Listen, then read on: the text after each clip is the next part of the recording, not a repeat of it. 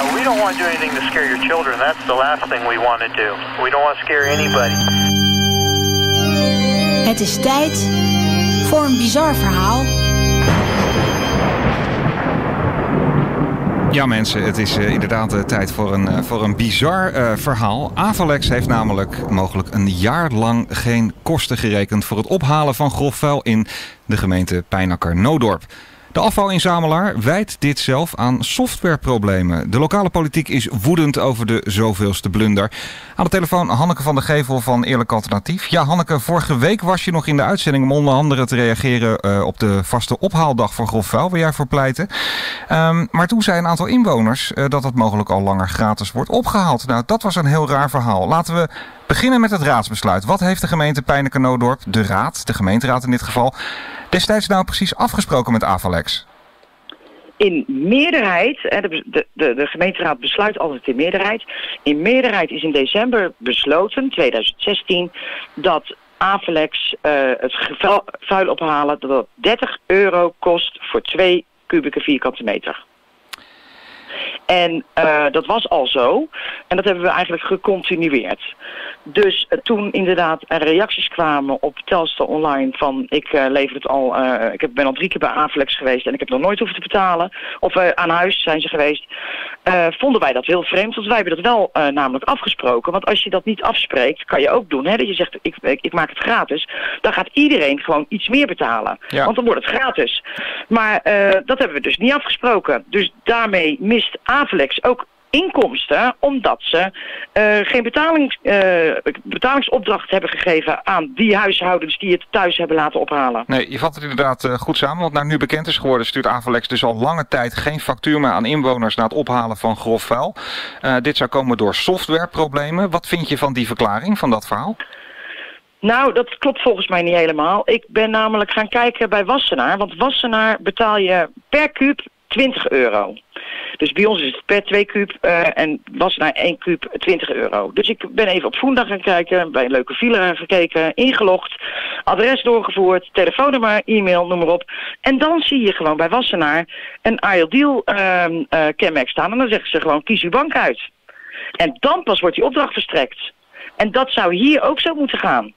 En als je hier je aanmeldt op de website van Avalex om grof vuil te laten ophalen, dus vanuit de gemeente Pijnacker Noodorp, dan staat er dus 0 euro en dan gaat er gewoon een mannetje gratis voor je rijden. Ja, ja er staat ook, dus je, je ziet dan ook totaalbedrag 0 euro staan. En dat is natuurlijk heel erg raar, want wij maken niet voor niets zo'n afspraak. En daarnaast uh, is het natuurlijk ook uh, uh, wrang voor, door de inwoners en voor de inwoners... die wel allemaal naar Avalex zijn gaan rijden. Ja, je zou denken, hè, je hebt dat dan onderzocht hoe dat ook bij Wassenaar werkt... dat als het een softwareprobleem is, dan zou dat eigenlijk in elke gemeente aan de hand moeten zijn. Maar het is puur specifiek Pijnacker Noodorp. Ja, het is bijna Knoodorp en uh, ik denk zelf dat ze uh, daar ergens een vinkje uh, zijn vergeten aan te zetten. jij hebt inmiddels ook een woordvoerder daar gesproken. Dat, heb je ook, dat audiofragment heb je ook online geplaatst. Ja. En zij zegt van dat de gemeente zelf een vinkje aan of uit kan zetten. Nou, dat is niet het verhaal. Avalex is namelijk degene die het vinkje aan of uitzet. En wat ik zo bijzonder vind, in 2015, dat weet ik, moest je gewoon wel betalen. Dus ik heb het idee dat vanaf 2016 tot en met nu ja, dat dat vinkje uitstaat. En wie dat gedaan heeft, nou ja, Joost mag het weten, maar het is natuurlijk wel, je mist daardoor wel heel veel inkomsten. En naar aanleiding van dat verhaal ben ik voor de derde keer nog eens een keer in de jaarrekening gaan kijken van 2016. En toen zag ik ook staan dat er uh, totaal uh, een ton uh, minder inkomsten waren door derden. Nou, het zou mogelijk kunnen zijn, maar dat weet ik dus niet. Het zou mogelijk kunnen zijn uh, dat die ton inderdaad uh, het uh, gemis is aan gelden voor het thuis ophalen. Dat zou kunnen. Maar dat weet ik niet zeker. Maar goed, die vragen staan wel uit. Maar goed, als je een simpele rekensom maakt en je gaat uit van vijf ophaalmomenten per dag in pak een beetje 250 ophaaldagen, dan heb je het al over 37.000 euro dat je gewoon al op jaarbasis misloopt. Ja, en wat ik dan zo ernstig vind, uh, ik ben al vanaf 2006 uh, zit ik in de politiek en ben ik al bij Avalex betrokken. Ik heb ook een tijdje in het algemeen bestuur gezeten tot 2008, 2009.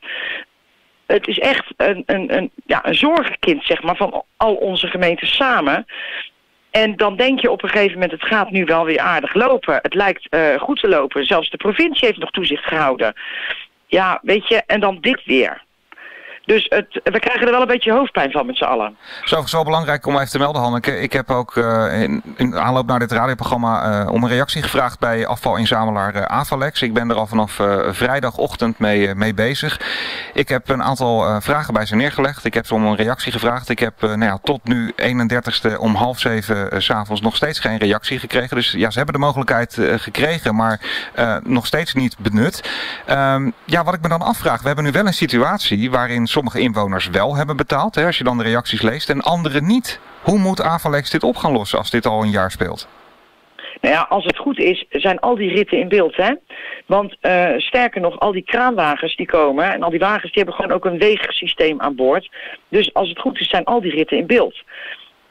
En uh, zal er wel een naheffing komen? Ja, ik weet het niet. Ik bedoel, maar het is ook wel weer wrang als mensen in de veronderstelling zijn dat het gratis is. Hè, de eerste keer doe je dat. En je denkt dat het gratis is, dat je ook makkelijk het tweede en het derde ritje bestelt. Is het niet dat zo dat... ook wel weer wrang. Ja, natuurlijk, natuurlijk. Dat begrijp ik heel goed. Maar is het, is het niet zo dat uh, Avalex op het moment dat ze tegen softwareproblemen aanlopen... en uh, laten we er even vanuit gaan dat het verhaal klopt zoals het hier nu ligt... mogelijk al, al een jaar speelt dat... dat ze dan ook de opdrachtgever, de gemeente Pijnen Kanodorp in dit geval, in kennis moeten stellen? Nou, naar waar, wat, als ik het een beetje kan, hoe ik het een beetje volg langs die zijlijn, heeft Avalex helemaal geen benul ervan uh, hoe, hoe het zo heeft kunnen uh, komen, lopen. En wat ik ook heel vreemd vind, is nadat jij het een en ander gepubliceerd hebt, uh, hadden ze natuurlijk ook wel een, een technisch mannetje even in kunnen schakelen van, joh, kijk jij er eens even naar. Ja, want tot op de dag van vandaag werkt het, nog, het werkt gewoon nog steeds niet. Hè? Je hebt het nog recentelijk gecontroleerd, je hebt het pijnlijker gecontroleerd en het, het werkt gewoon nog steeds niet. Ik heb dat ook gedaan. Nou ja, twee zien meer dan één. Het, het werkt gewoon tot op de dag van vandaag nog steeds niet. Alle luiken zijn, uh, zijn dicht, de deuren zijn gesloten, je krijgt geen antwoord op, uh, op vragen. Ja, en ja, iedereen stelt zich ook de vraag, hoe heeft dit kunnen gebeuren? Er zitten toch financial controllers, zoals dat met een duur woord heet. Ja, sterker nog, in het verleden zijn er controles uh, ontslagen, directeuren zijn ontslagen en noem maar op. Want we praten hier natuurlijk al een keer over een tekort van 6 miljoen. Ik doe het nu even uit mijn hoofd hoor. Een keer een tekort van 1,3 miljoen, een keer een tekort van 3,2 miljoen. Ja, en op een gegeven moment, uh, maar goed, die discussie die, die loopt wel hoor. Hebben wij wel als raden allemaal gezegd van, moeten we niet van dat bedrijf af? Kijk, wij zijn allemaal eigenaar, dus dat, dat, er zijn allemaal diverse mogelijkheden. Je kan het verkopen of nou, noem het maar op. Uh, die discussie is volgens mij ergens in nou ja, in ieder geval in het najaar uh, volgt die discussie. Want uh, je snapt ook wel dat wij als raadsleden, wij moeten controleren en toetsen. Ja, dat, dat gaat gewoon niet met een bedrijf, want elke keer is er weer wat. Weet je, dan kopen ze weer een SAP-systeem wat te duur is. Dan gaan ze weer naar AFAS, een ander computersysteem. Uh, ja, weet je, het is gewoon een, het is gewoon een hoofd, hoofdpijndossier waar we vanaf moeten. Nu is het, blijkbaar is het te weinig financiële prikkel. Ja. Of te weinig uh, betrokkenheid of iets. Dat, je, dat, je het, uh, dat ze het ook niet herstellen. Ze, ze komen ook niet in de publiciteit van nou wat erg. Dat wij, uh, u heeft gelijk, we gaan dit zo snel mogelijk herstellen. En ze houden ons en jou in dit geval op de hoogte. Ja, nou dat moet ik dan een heel klein beetje corrigeren. Ze hebben een kort statement afgegeven die, die vrijdagochtend. Waarin ze nou ja, hebben, hebben toegegeven, eigenlijk hebben erkend dat er een blunder is, is begaan. En dat er een, ja, sprake is van een software storing. Um, ja, tot die tijd hebben ze uh, de, nog helemaal niks gedaan daar, daaraan. En dat, dat is natuurlijk gewoon heel erg bizar. Nou ja, het is in ieder geval weer maandagmiddag uh, geweest. Dus ja. Weet je, hoeveel tijd heb je nodig uh, om uh, in controle te zijn? Ja. Het bedrijf is gewoon niet in controle. Blijkbaar heeft er gewoon niemand gezien of gemerkt dat er vanuit Pijna Kanodorp geen inkomsten kwamen. Vanuit het grofvuil. En je hebt natuurlijk een soort normenkader, wat je elk jaar hebt aan inkomsten. Ja, in dit geval van derde, van Pijna Kanodorp. Uh, met het ophalen van je grofvuil. En blijkbaar heeft gewoon niemand gezien dat daar inkomsten gemist worden. Wat verwacht jij, uh, Hanneke, namens jouw partij Eerlijk Alternatief van het, van het college van Pijnenkanodorp? Wat moeten ze gaan doen? Nou, ik denk dat die er ook wel uh, van balen. Uh, ik verwacht dat het collegelid ehm, Piet Meltzer is dit, in dit geval. Die zit een beetje op de financiën van Avalex. Ja, dat die wel de onderste steen boven wil ehm, hebben. En dat geldt trouwens ook voor onze raadslid Frank Kup, van Kuppenveld van het CDA. Die zit in het algemeen bestuur. Ja, die wordt hier ook niet goed van. Nee, het, het, is natuurlijk vakantieperiode, maar hebben jullie nu na vier dagen al officieel iets gehoord? Als toch eigenlijk, jullie zijn toch formeel gezien de opdrachtgever naar, naar Aflex. Hebben jullie al een briefje gehad van die partij of iets anders? Nee, helemaal niks. En ik heb net mijn e-mail weer even bekeken en niks. Nee, er zit niks in. Toch wel bijzonder, want uh, ja goed, iedereen doet een duit in het zakje. En uh, jullie moeten elk jaar die begroting weer, uh, weer dichten. Nou, nu blijkt, heeft dat misschien zelfs wel te maken met het niet factureren van, van grof vuil. En dan hoor je gewoon helemaal niets. Is dat, ik neem aan dat jullie toch binnenkort bij elkaar gaan komen in, de, in een vergadering. En dat is met elkaar goed gaan, gaan bespreken en dat op, op, de, op de agenda gaan zetten. Ja, Aanvlek staat regelmatig op de agenda vanwege de financiële perikelen. Maar ook vanwege het niet in controle zijn en ook uh, vanwege van, uh, wat gaan we nou doen met dat bedrijf? Want niet alleen voor ons is het natuurlijk een doorn in het oog, maar het geldt ook voor andere gemeentes. En zeker dadelijk met het nieuwe inzamelen en alle perikelen daaromheen, hè, de bakken die elke overvol zijn en noem maar op. daar heb ik laatst ook weer een vraag over gesteld. Maar goed, dat heb ik ook in jouw uitzending vorige week verteld. Ja, zal het wel weer te sprake komen. Maar ja, weet je, ik ben wel een beetje klaar met het praten. En uh, niet alleen ik, maar ik denk ook uh, alle andere fracties.